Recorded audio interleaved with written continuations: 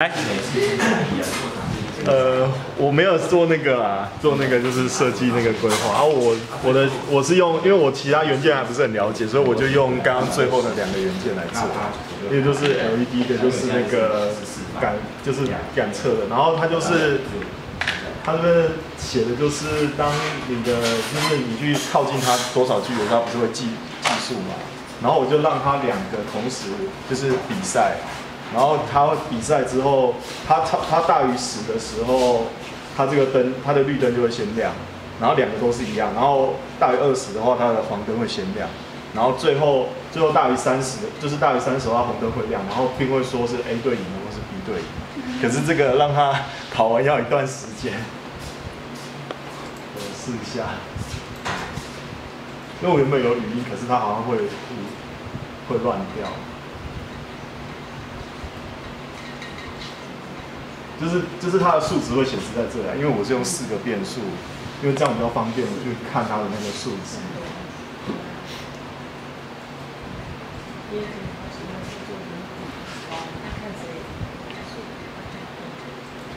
然后下面这个已经到十一了，所以它的那个有对绿灯亮，然后我就直接按一个就好了，让它到直接到结束。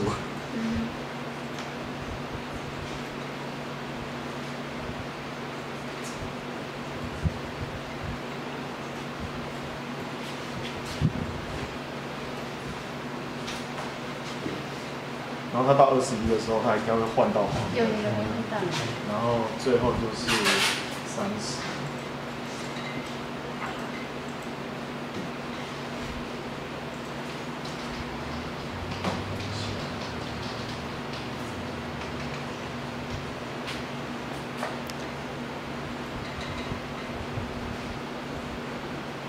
多少了？三十。对，然后就他刚刚就有，对，然后就会有 A 我这个系统可以直接拿去教室用了，哎，档案记得传上来。好来，请说呃感感想的话就是，呃，我其实跟那个盛文老师其实是有点算是网络上认识，然后就是那时候就是听说他有在教那个啊，那时候我是那时候我是正开始用，只是我是用吸写的，我都是用吸去写，然后然后后来就是刚好这次刚好有回来，然后就想说来参加看看，就是因为想说用，因为他这个只要主要教学对象比较适合国小的部分，所以我想说我想来听听看目前这个部分做的如何，对，就是这样，谢谢。